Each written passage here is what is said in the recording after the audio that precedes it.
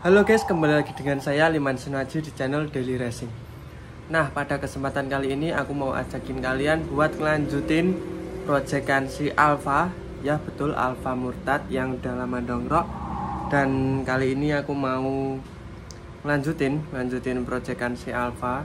Setelah kemarin aku review part-part yang bakalan aku pasang dan sekarang akhirnya bakalan saya pasang part-partnya walaupun sudah terpaut waktu sangat lama dan kebetulan saya belum mandi ya guys. Ini kotor banget habis bersih-bersih rumah tangan juga kotor. Jadi sekalian saja kita proyeksi alfa karena ada beberapa bagian-bagian yang saya potong sehingga mumpung belum mandi langsung saja kita eksekusi si alfa nah guys jadi seperti ini batang alias serangka si alfa ini kotor banget.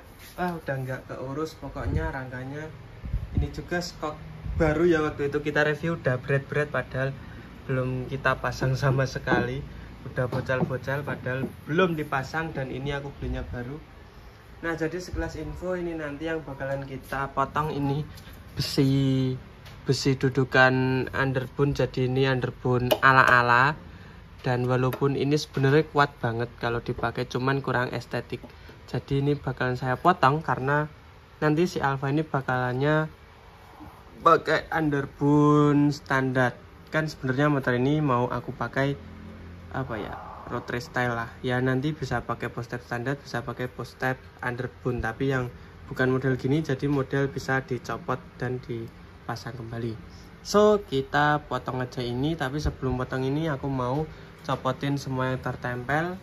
Bracket ini juga sudah aku beliin baru yang model apa aluminium. Kan ini bikinan sendiri ya guys bikinan sendiri walaupun ini tebel tapi kurang tinggi sedikit. So aku beliin yang dari aluminium cuma kata shot nggak tahu di mana.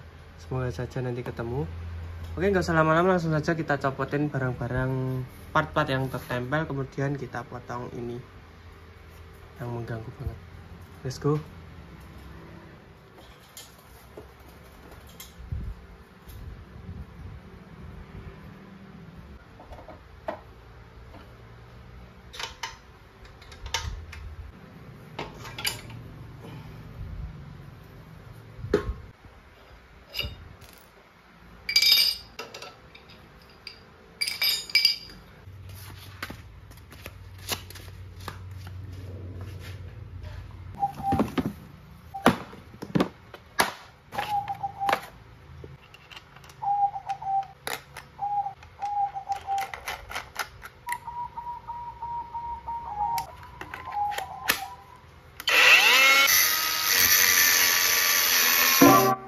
Oke guys, kali ini saya sudah mandi dan rangka si Alfa juga udah mandi. Tadi kebetulan dicuci sama adik saya.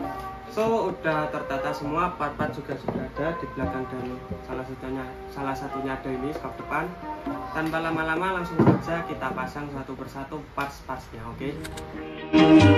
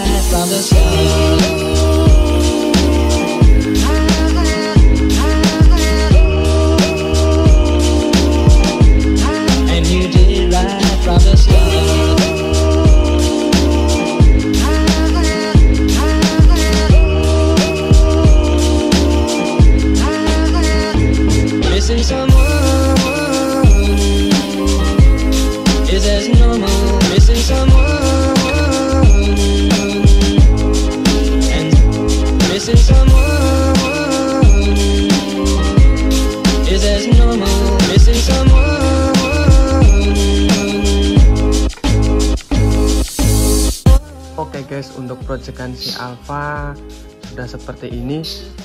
Jadi racer road race ini apa aku beli ya di Shopee. Racer road race untuk Air Jupiter paman bebek Yamaha. Kemudian aku pakai stang RZR original buntu ya. Original Yamaha ini. Kemudian untuk master rem aku pakai KRS namun menggunakan handle RCB ini bekas Versa dan yang bagian kiri ini pakai handle kopling RCB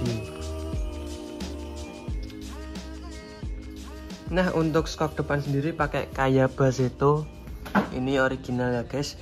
Ini aku pasang kemudian yang belakang pakai skok Red It GP Supreme. Nah untuk arm sendiri pakai B Pro. Kemudian ini aku pasangin underbone dulu ya guys. Ini pakai underbone besi. Ini banyak besi. Aku beli di shopee-nya underbone 2 tak. Nah seperti ini.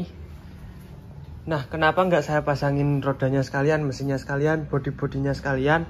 Karena rodanya itu sebenarnya udah ready cuman kemarin beli BRT itu nggak dapat bearing alias laker set sama uh, bos-bosan tengahnya. Jadi ini masih di tukang bubut untuk dibuatin.